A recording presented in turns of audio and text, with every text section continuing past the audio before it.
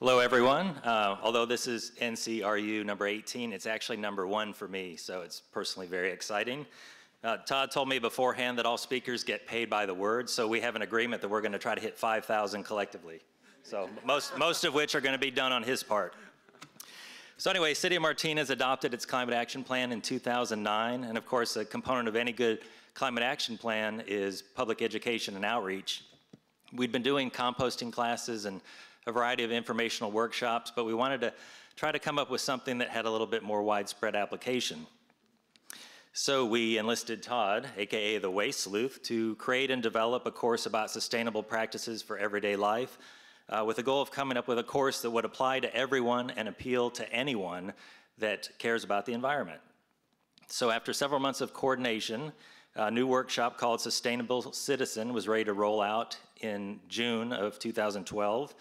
Uh, we've taught three classes thus far, have another one coming up on May 4th of this year, and we hope that other agencies and organizations take advantage of what we feel is a terrific opportunity to educate people on just how easy it is to become a sustainable citizen. So with that, I'll turn it over to Todd.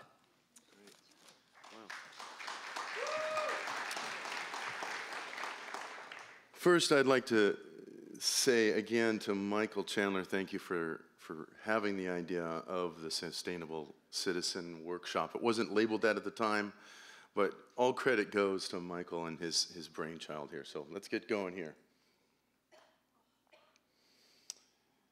All right. So, as we said, sustainable citizen. To be sustainable, the planet needs sustainable citizens. So, obviously, we've said that a few times. We're really not trying to get 5,000 words in here, but uh, in the beginning, there were hands. No, no. In the beginning, there were, was a planet. okay. And then all of a sudden, Adam and Eve got real busy, and there was seven, our seven billion of us. All right. As a result, we have fun traffic jams, lots of pollution. And then the state of California said we need to deal with this pollution issue, and this AB 32 is focused on CO2 emissions. A lot of you know about this, some of you don't. You can see the goal here is to go back to 1990 levels in about six or seven years here. So AB 32 is the, the, the driver here. Communities, many of you in this room have them, these huge climate action plans. And in every one of these climate action plans is a section in there to talk to the public, talk to the citizens, outreach, and say, conserve energy, lower your CO2 emissions. And so that's, what, that's what's going on here. So we've got communities wondering what to do, and maybe they should call the Waste Sleuth. And what we'll do here is we'll do sustainable citizen workshops, and the, the workshop is based on some common sense things.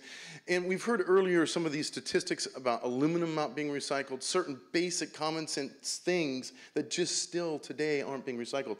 So we're focusing in on these things. We believe that most everybody wants to do more. They're not quite sure what that is. And so this program is designed to give people kind of the meat in, in numbers as to what they can do. We'll give them the what, why, and how, not just recycle your aluminum can and it keeps the lights on for you know the day or whatever, but why this is important. So we give them the tools. We don't just tell them, we give them examples of how this works, and we repeat that over and over again.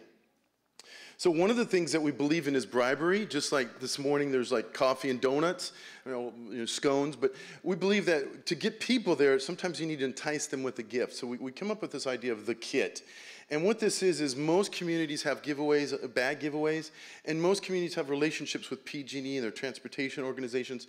So what we do is we put a lot of these common sense things in there, CFLs, reusable bag, of course, maybe some propaganda from the local regency, regional agencies rather, um, uh, maybe a low flow gizmo for your faucet, et cetera. Those sorts of basic ideas are put in this kit to get people to come to the workshop.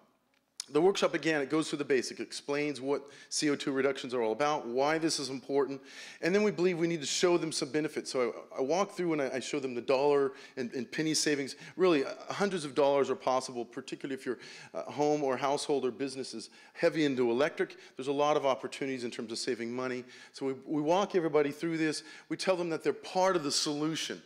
I, it's my feeling that a lot of people don't believe that they make a difference. And so I spend a lot of time saying these little tiny actions, little ones, add up to making a big difference. So, uh, and, and you'll sleep better at night by doing this too.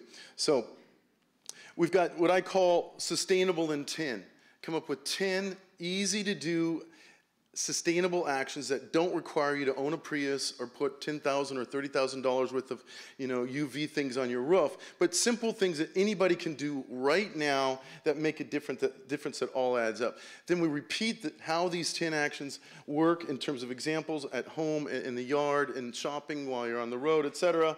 And then at the end, we ask everybody to take a pledge. And we actually, like, we go through this, and it's kind of like, you know, I pledge of allegiance. Well, I pledge to be a sustainable citizen, and I will do what I can whenever I can. And so this is really kind of a compelling thing.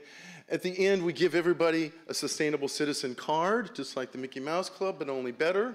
Okay, so everybody gets this. and on the back are the 10 action steps so they can talk about this with their friends and family about what they've done and what they can do and what they are doing in terms of these sustainable things. Who's the target? Michael already uh, suggested some ideas. Cities, of course, sanitary districts, haulers, businesses, community groups, chambers, uh, just about any, anybody. Maybe these folks, huh? All right, so there's only one of these, sustainable citizens important. So I just thought I'd